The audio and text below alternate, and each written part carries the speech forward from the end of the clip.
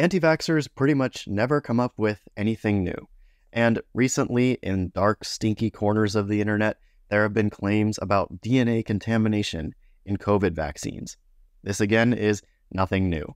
It is recycled anti vaccine garbage that has always been around for as long as vaccines have. Hey, I'm Dr. Wilson. I'm a PhD molecular biologist, and welcome to another COVID debunking video. So, yeah, today I'm going to be tackling this claim that there is DNA contamination in COVID vaccines. But first, I want to cover some background on this topic. What you need to understand before learning why these claims are wrong is a little bit about how vaccines and other biologic drugs are made. All biological drugs, including vaccines, have a step in their manufacturing that uses cells. These can be mammalian cells, these can be bacterial cells, depends on the product and what is needed. For example, to make insulin, which is needed to keep diabetics all over the world alive, you need bacterial cells that are genetically engineered to produce human insulin. Once the human insulin is made, all the bacteria and all the parts of the bacteria are separated away from the insulin, and the insulin is the drug product. Another example are polio vaccines. In order to get a polio vaccine, you need the virus, and the virus is grown in cells. But just like the insulin, the virus needs to be taken away from the cells and all of the cells' parts in order to make the actual vaccine product. Whatever the case may be, there are a slew of long established tests that are done to ensure that your drug product has actually been removed from the cell's parts. There are tests that are designed to look for how much host cell DNA is left in the drug product after you have finished making it. Same with host cell proteins or bacterial endotoxin and several other things. All of these tests are required by regulatory laws to be done on each and every lot of biological drug that goes out onto the market. And there are set limits as to how much residual material can be found in those drug products. These are very strict guidelines that pharmaceutical companies have to abide by. In addition to good manufacturing procedure, which is abbreviated GMP, we also have good documentation procedure and good lab procedures. All of this can be summarized as just GXP. So moving forward, I'll be referring to all of these guidelines as GXP. If any of those GXP guidelines are not met or there are deviations from their protocols, then that is a huge no no, and it would result in the lot not even going out in the first place or being recalled or a number of other things, including fines and disciplinary actions against those responsible. So it's kind of a big deal, which is why there are many layers to these regulations. The pharmaceutical company itself is required to do in house testing to show that their product meets all of these regulations. And the regulatory body, in this case for the US being the FDA, will double check those results, meaning that they can perform their own testing in their own labs and furthermore, when those drugs go out to other countries, those other countries' own regulatory bodies will also do in house testing on the products that they receive. Again, by the end of it, the levels of residual host cell protein, DNA, whatever, have to be below a certain set limit.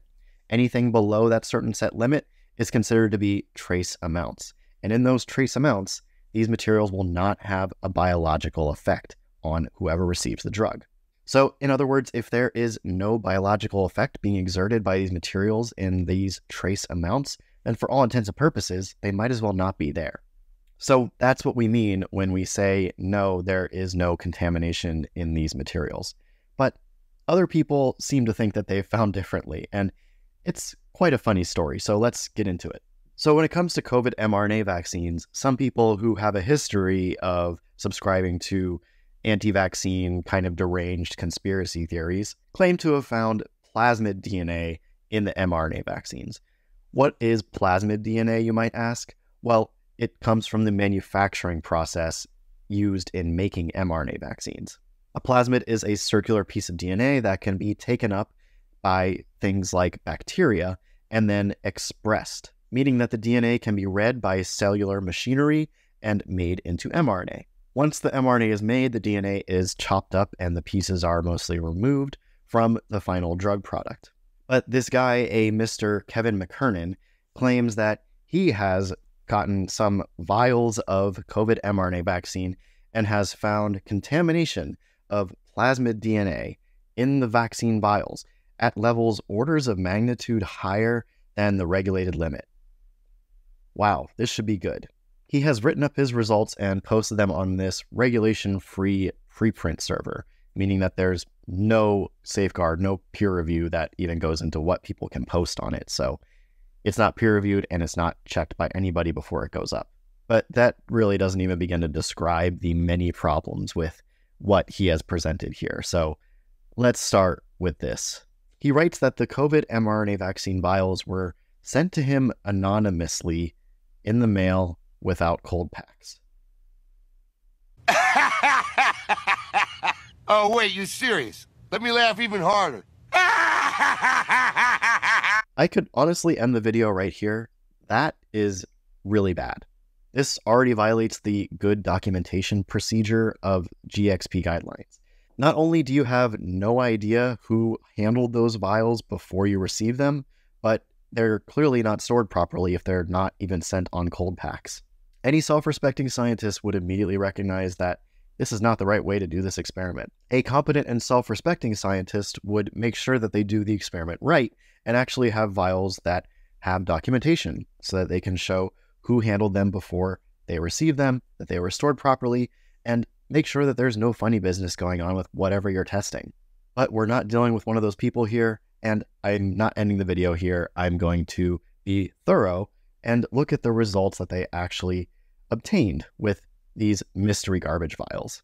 Let's go back to what I said earlier about there being tests to determine whether or not residual materials in your drug product are actually below the regulated acceptable limit. In order to demonstrate that, tests are done to quantify the levels of residual materials in the drug product. So the obvious question to ask here is did Kev here actually quantify the levels of plasmid DNA in the vials? Well, he tried, but he didn't really. The key figure here in his blog post is this one. This is where he tried to make a standard curve. In actual GXP testing, you would want to have a standard curve made up of known values so that you can compare your unknown samples against it and actually quantify a value. So this is his attempted standard curve where he just ran some known amounts of DNA on a PCR and then on a seemingly separate PCR assay ran his material from the vaccine vials and just compared the two separate assays, which not good. You don't want to do that. You ideally want to compare them within the same assay, but there's a lot more wrong here. So let's go right to the meat of what is wrong. There's a lot of analysis missing from this standard curve. He just reports that this certain value came up around cycle 20. And seems to be fine with just mentioning that. So I analyze the data for him. Whenever you make a standard curve in a quantitative PCR experiment, there are several basic things that you really should do. Two of those basic things is calculating the linearity and efficiency of your reaction. Again, he didn't do that here, so I did it for him. The linearity of his standard curve looks fine, but the efficiency of the reaction is where we run into a problem. In any PCR, the number of molecules present should double with each cycle. And the efficiency of a quantitative PCR reaction is measuring that. It's measuring how efficient the reaction was. Usually, in GXP world and just across the board, a range of 90 to 110% efficiency is considered acceptable. Kev's efficiency here was around 70%. There could be many reasons that a PCR's efficiency would be low like this, but normally those reasons would be ironed out when you're actually qualifying your standard operating procedure for your assay, which Kev didn't do. Now, because he didn't actually post his mean cycle threshold values, I didn't have precise numbers to plug into this calculator, but I judged as best as I could, and I was even as generous as possible with the decimal points. But no matter how much I played with it, I couldn't get the efficiency above 75%. So let's be generous and say that the efficiency of the reaction was 75%. In a GXP experiment, that would invalidate the entire experiment. So essentially, his assay failed and his results are unusable. And there's good reason for this. If the efficiency is low, that means that the curves on this graph here are artificially shifted to the right, which means that you're not really measuring accurate numbers at all. Just for comparison, here are data that I pulled from one of my experiments. You can see that the efficiency is well within range and linearity is pretty good. This is a passing assay. This is a failing assay. Kev is trying to criticize pharmaceutical companies' manufacturing processes while not being able to meet the standards of good manufacturing procedures himself. The theme from earlier, when I talked about where the samples came from, of just not taking the time to do this experiment the right way, is a very consistent thread throughout this whole thing. And yeah, there's more, it gets worse. So already he's failed the good documentation procedures, and now he has failed his actual assay, his experiment. But let's forgive that and move on and analyze the data further, pretending like it's valid. Because remember, he claims to have found DNA in amounts that are orders of magnitude higher than what the regulatory limit set. So, did he actually find that much DNA? Well, no, he didn't. Get ready for this one. In order to calculate how much DNA you actually have in your drug product, you have to do a few things. Once you have your standard curve and your unknown plotted against it, it depends whether or not your standard curve is measuring copies or gram amounts. Kev's standard curve here is in gram amounts, and that's fine. We can work with that. And so I did. I've put all the math involved here into a Google Excel sheet that you can access and look at yourself. It's in the description below, so go check that out if you want to check my math. But to make this as simple as possible, if I am as generous as possible and I assume that all of the DNA copies that he has measured in this experiment are representing full length intact plasmid, the total gram amount in a single dose of COVID vaccine would be 81 nanograms. So that's not orders of magnitude higher than regulatory limits. But we're not dealing with full length intact plasmid here. Again, remember what I said about the manufacturing process, where after the mRNA is made, the DNA gets chopped up and mostly removed from the drug product the DNA is going to be in pieces. So normally what people would do is look at the average length size of DNA in the final product. This can be done by doing what's called an electropherogram. Kev actually did one, and he shows that most of the DNA in the vial is fragmented. In fact, it's very short. About 100 base pairs is the biggest peak that he gets. The full length plasmid is going to be on the order of 15,000 bases. So while Kev's own results show that most of the DNA is fragmented, he doesn't show an average base pair length, which is what you would use to calculate how much DNA you actually have. So I looked at some historical data for similar biological products and similar electropherogram curves, and I think 800 to 1,000 base pairs is a good average to estimate for average base pair length in this sample. I'll be generous and say thousand base pairs is the average length. So knowing that and knowing how many copies you measured in the actual qPCR reaction, you can calculate the nanogram amount of DNA, which comes out to 5 nanograms. That's about how much DNA Kev actually measured in this experiment that failed criteria on multiple levels and was done on mystery vials with no documentation history and he thought that this was a big find. okay, so moving on a little bit, uh, that five nanogram amount, remember, that is me being as generous as possible with the numbers and also ignoring the fact that his qPCR efficiency failed, which means that his standard curve is actually shifted to the left, which means that his samples are going to be an even lower gram amount on that standard curve. So if this experiment was done the right way, you would probably get an even lower gram amount than what is shown here. So how do we know that Kev is wrong without even doing any of this analysis of his garbage data? We know because, again, regulatory bodies do this for us, and we've seen the results. For example, here's a summary of COVID vaccine batch release information from Australia. These vials were made by Pfizer, tested in house by them, released by the regulatory body, and then went to Australia and their regulatory body tested it themselves and found that it passed all of the criteria.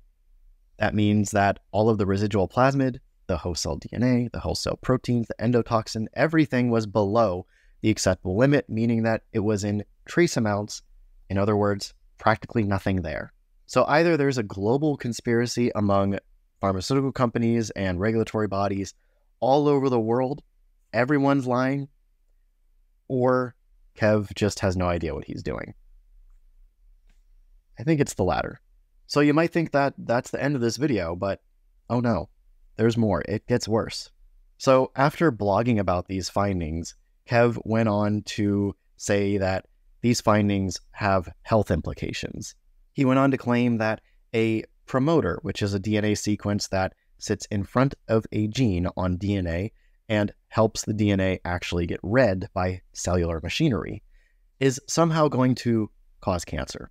Yeah, he thinks that a promoter is somehow going to get into your cell nucleus and integrate itself into your DNA and just happen to integrate in front of a gene that, if misregulated, would contribute to cancer.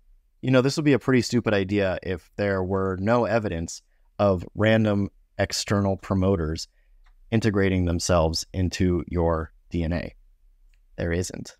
It would be doubly stupid if we weren't regularly exposed to DNA viruses that have promoters in their genomes. We are.